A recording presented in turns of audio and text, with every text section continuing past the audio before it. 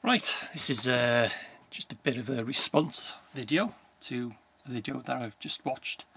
Um, one of Lee's videos about uh, his Monday walk vlog around town. And I just thought I'd do this just to sort of give you, you know, a bit of help, a bit, bit of advice. Because in August, you uh, you've told me that you you're going up, well, you're going to climb Snowdon or Yr and you'll be going across Crib Goch. And in your video, um, you were looking at some Ordnance Survey maps. Um, you're looking at a Wrexham one and the uh, Snowdon one. And you decided just to get the Wrexham one because Ordnance Survey maps are nine quid each. Um, and they are, or Ordnance Survey maps can be quite expensive, especially if you get the laminated ones. Uh, so I just thought I'd give you a bit of advice, mate. Um, obviously I use maps. Um, I've got tons and tons of maps covering in all, um, you know, Snowdon National Park and whatever. But if you get a big map, big Ordnance Survey map, uh, chances are, you know, if you're just going to climb Snowdon or Crib Goch or a little small area, all you're going to be, all you want be going to be using is just that small section of the map. You can have a big bastard fold out map. You, you bet you're paying for all that, you're never going to use it. So what I suggest you get is uh, you can get yourself a book. I've had this bloody hell, can't remember, I've forgotten when I when I bought this on Snowdon. Gives you a bit of history, photos, old photos and whatever. And also gives you maps and things in it.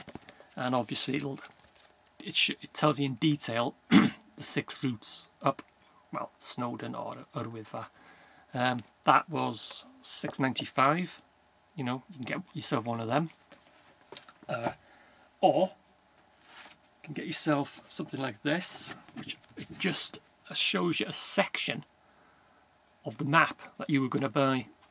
And the section is just the area of there is in Snowdon. Just shows you, got all the, the routes, the paths that you're likely to use. Like I said, you know, you don't need a big, massive map you know, forking out nine quid for something that you're not going to use. Uh, that's the one to 50,000 and in, on the other side in more detail is one to 25,000.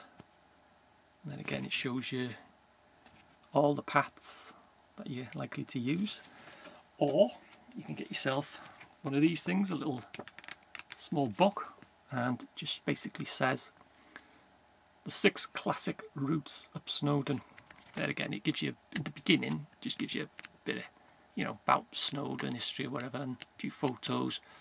And then obviously shows you all the, the paths and it'll go on to describe all the routes up Snowdon this was probably quid something like that. If you go to outdoor shops or you may you may get them off Amazon but if you go to an outdoor shop like Cotswold Camping or whatever they'll have them they sell all box and things like this. Or another thing you can get is these things. Shows you all six routes up Snowdon. And these, if you can make that out, is it the 20p? if you can see that, it's up to anyway 20 pence each. But like I say, I have had these a few years, so they're probably 30 pence by now. Uh, it's got the Watkin, Pig Track, Rhyd Ddu, Llanberis, Miners Track and Snowdon Ranger. And in your case, mate, um, you'll be starting from, well, I presume if you're going to go up Crib Goch, you'll be starting from Pen y Pass there, and you'll be making your way up the pig track. And instead of carrying on up the pig track, you'll be climbing up there onto the Crib Goch Ridge and then making your way over the tops up to the top of Snowdon or Wyddfa. So anyway mate, also yeah, it tells you, you know, it describes the route as well, step by step. But uh, like I say, if you're going to do Crib Goch, that's, I presume you, you're going to be starting from Pen y Pass.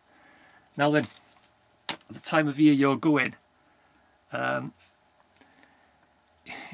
you won't be able to park um, it'll be you have to, to, to park in Pen y Pass You have to get there for about three o'clock in the morning, otherwise you just can't park. But you can park lower down the road. What I used to do, uh, there's a place place called the Pen-y-Gwryd Hotel.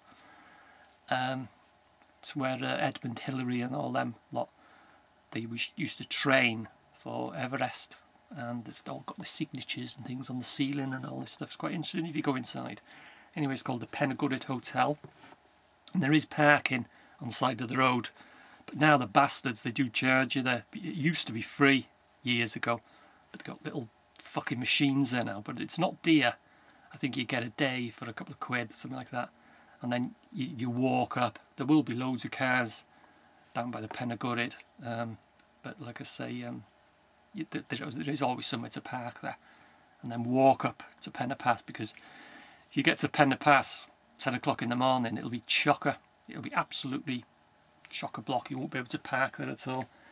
Um, yeah like I say to save you know just thought I'd uh, you can tell me to keep my fucking nose out of it but I just thought you know save you a few quid. If you fork out nine quid for a map you know you, you just all, you're going to be using is that section of the map. You know you, you, you got a big sheet that you're never going to use. Like I say you can get this is laminated by the way. It's plastic fully waterproof uh, it's 150,000 you can see thin slider there and if you spin it over you see thin slider again. Somewhere there. This is a 125th 25,000 um, which gives you even better scale. Or like I say get yourself a little book or just get yourself these little things. In your case just get the 20p to spend for the pig track. So anyway hope that helps me and good luck with your climb